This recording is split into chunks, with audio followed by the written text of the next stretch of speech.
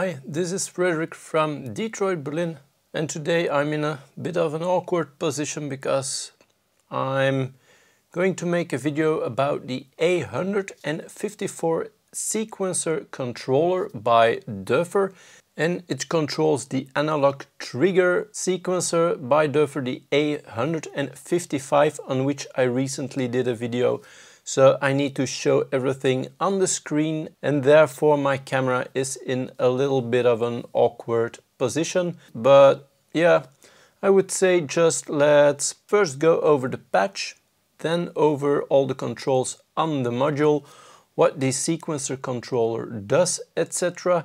And maybe afterwards another little patch but first I'll explain what this patch is all about. So the sequencer controller by Doepfer, the A154, controls the A155 analog trigger sequencer by Doepfer. You have the control section of the analog trigger sequencer and it kind of takes over the control section. You do have a switch to put it back in manual mode, which actually means that if you're controlling the analog trigger sequencer with the control panel on the analog trigger sequencer, that will take over and when you flip the switch then the sequencer controller will take over and the sequencer controller adds to the sequencer. Like the name suggests, it controls the sequencer and although the sequencer perfectly works without the sequencer controller. I do think it has a few nice things in petto. So yeah, let's first go over the patch and see how everything is working. The sequencer controller has a few CV inputs. The mode CV, which is controlled by another analog trigger sequencer, that will make the sequencer controller go forward, backward, pendulum-wise or random or CV controlled. Then you've got the first step CV and the last step CV. And that means that you actually CV control which is the very first step of the sequence where the sequence begins and what is the last step of the sequence where the sequence stops. So I'm controlling that by the quantized stored random voltages, the A149-1 by Doepfer. I already did a video on that one. I might link it in the description down below. So that controls in a kind of random way the first and the last step of the sequence, which makes the whole sequence seem kind of random, but then again, um, yeah, everything is becoming random because I'm CV controlling a lot of parameters. I'm clocking everything from the sequencer control. It has an internal clock. You can use an external clock. It has its benefits to use the internal clock because then you have the pulse width. You can control with the pulse width the triggers of the analog sequencer, the length of the triggers, you can control it with the pulse width control. The rest of the patch is the analog trigger sequencer pitch going into the dual quantizer, then it will be going to the matriarch with the clock of the sequencer controller. I'm clocking the mutable instrument grids. The grid is triggering the uh, Pico drums from Erica Synths, which has a bass drum and a kind of percussive element that's also going into the matriarch and then I'm using the second analog trigger sequencer which is running parallel with the first analog trigger sequencer. I'm triggering the Vactrol low pass gate A101-2 Already did a video on that one. Try to link it in the description down below.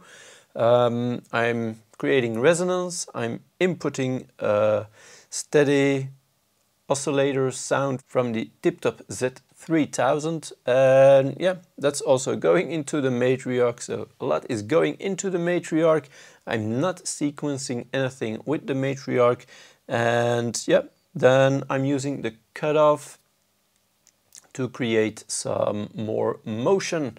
Let's go over the module, the A154 sequencer controller by Doepfer.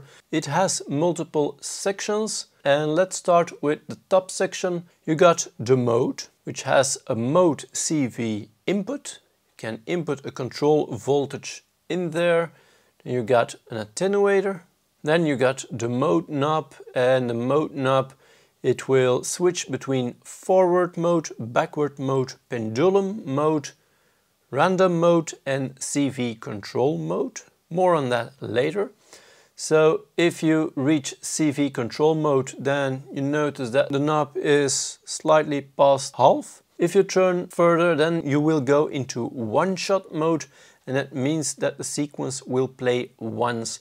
So forward mode, it will play forward one time and then it will stop at the last step, backward the other way around, pendulum mode it will go forward and then back and then stop, random mode it will play randomly until it randomly stops. Then you have control CV mode which is actually kind of an addressed mode in a way that you input a control voltage in the first step because can see on the panel that it is linked to the first step. You can put a control voltage in there and then use maybe another sequencer to sequence the step of the analog trigger sequencer that is controlled by the sequencer controller. That is one way, or you can have a random voltage, but then it's kind of the same as the random mode, although you can maybe have kind of a different random voltage or just an LFO or anything.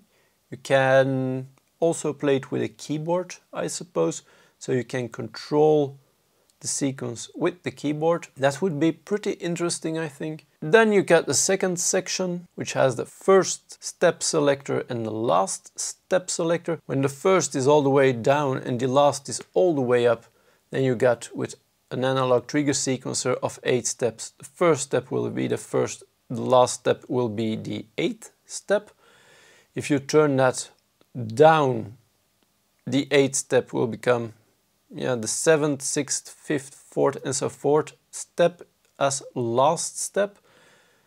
When you turn it all the way down, the last step will be step one. So the first step is also the last step if you turn the first step up, then yeah, the first step will be step one, two, three, four, and so on until you reach step 8. When both first and last step reach each other, then you got only one step and you don't really have a sequence anymore.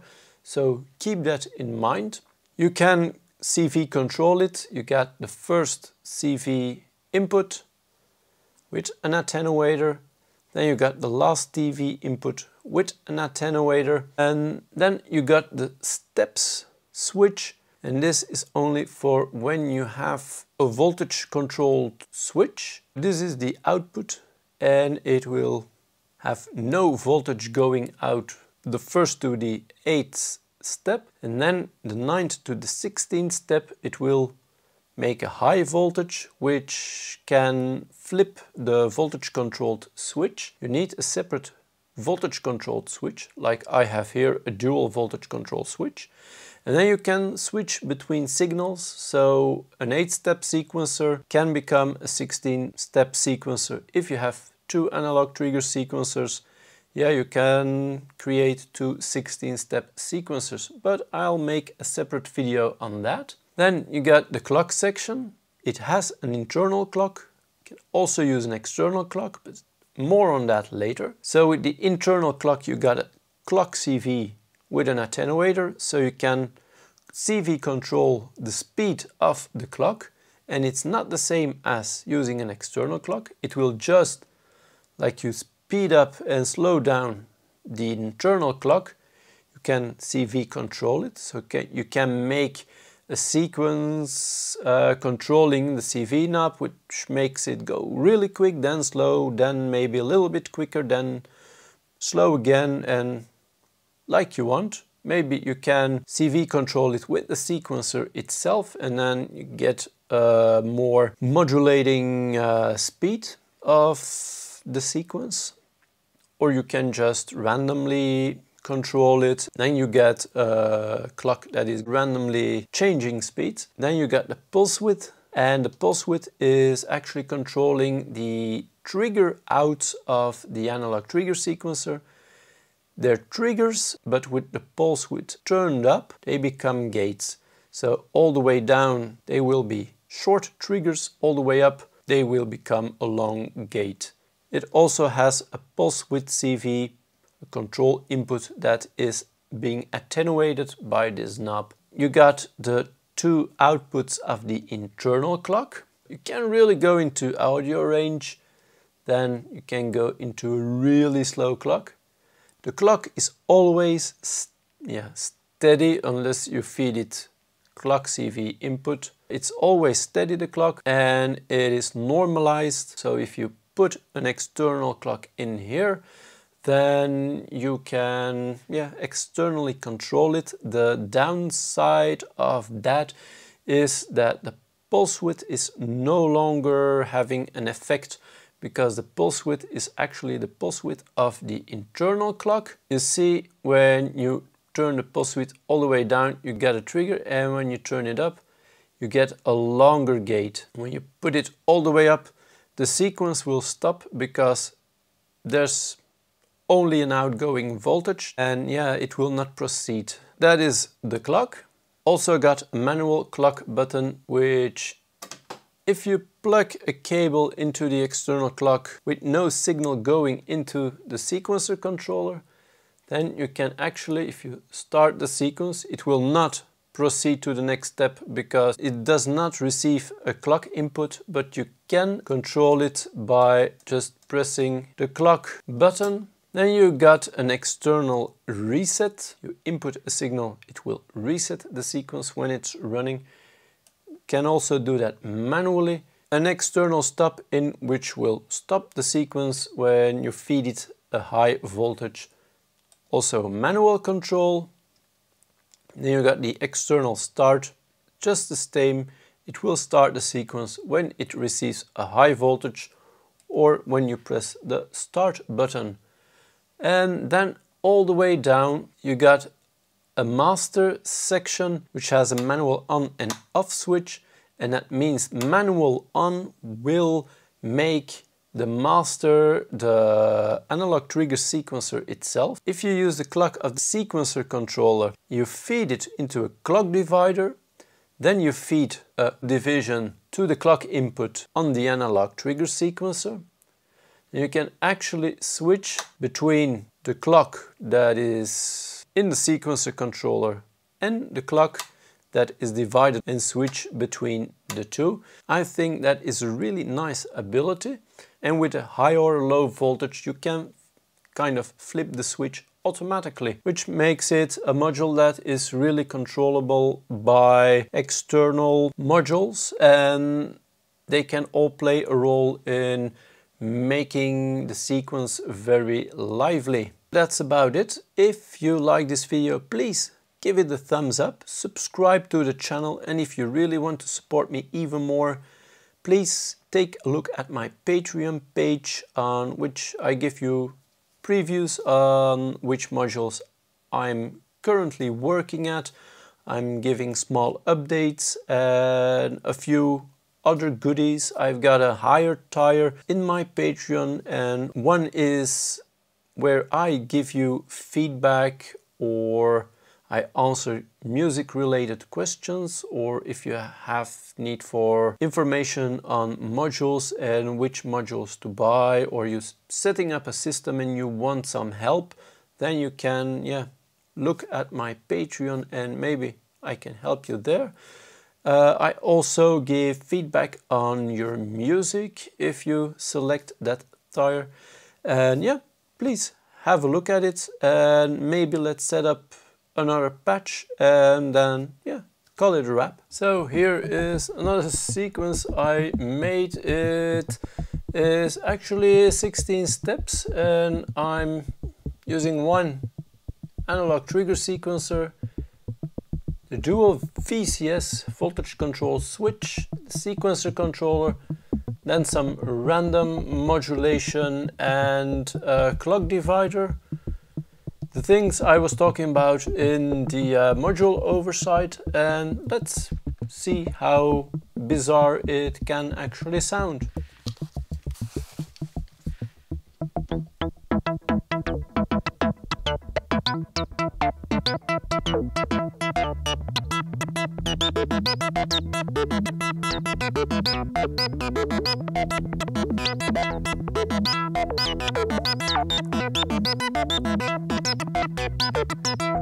Let's unplug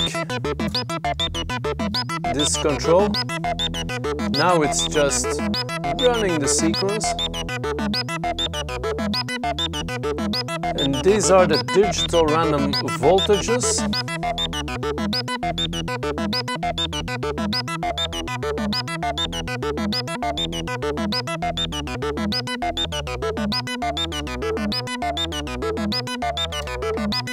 See, this is random sequence controlled by the quantized random voltages. And now it's switching between the two. When the signal is high, it is in manual off mode. When it's low, it's in manual on mode.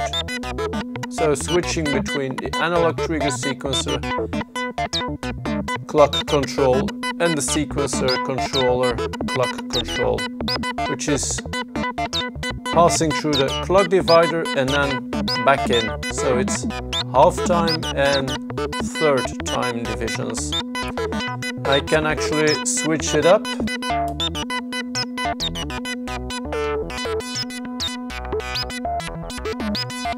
to create various rhythms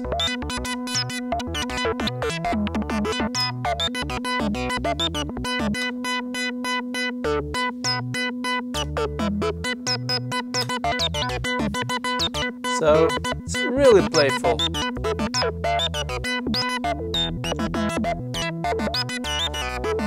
Changing the mode. I could of course also, let's see,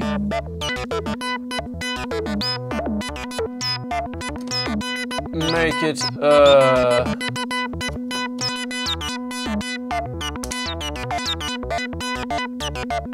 Thank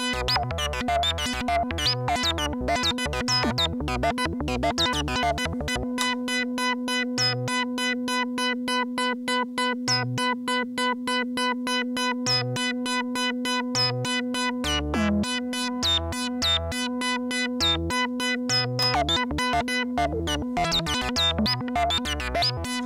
So you can really change up the patterns it's generating by using really a lot of modules, but still I think it's fun and interesting.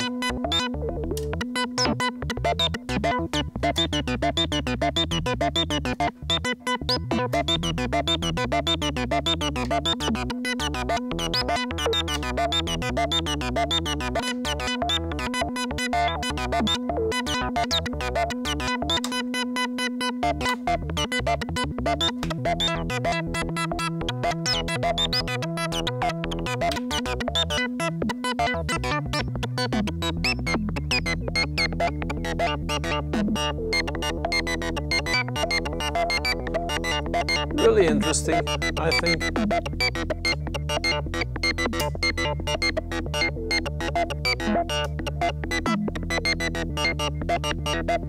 It's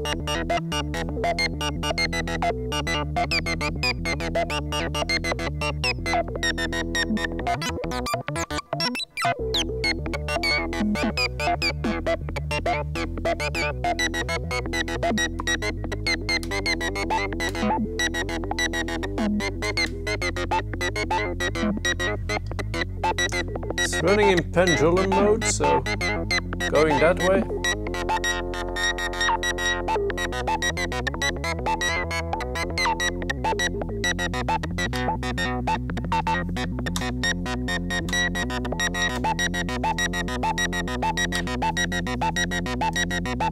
Really nice use of, in my opinion, of the quantized random voltages and stored random voltages. These digital outputs, they can trigger attack delays, ADSRs, they also can flip switches and the randomness is super controllable.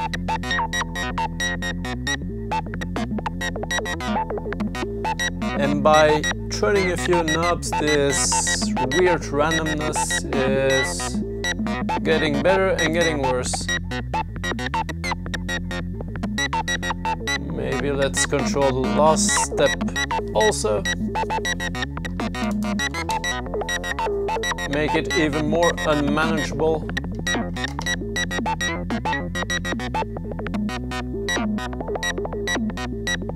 So weird, really weird.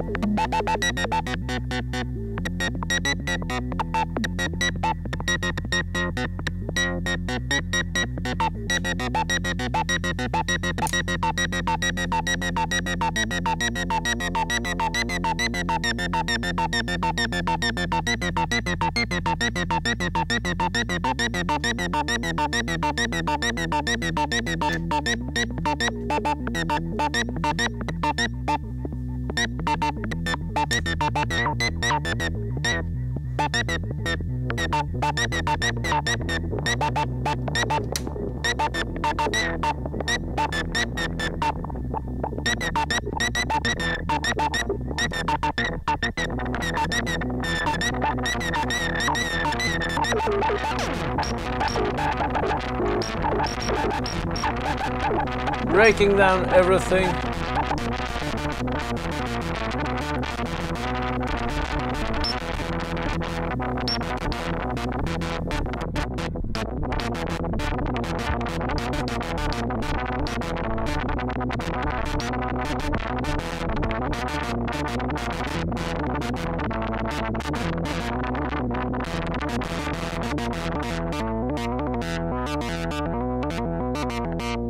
Thank you.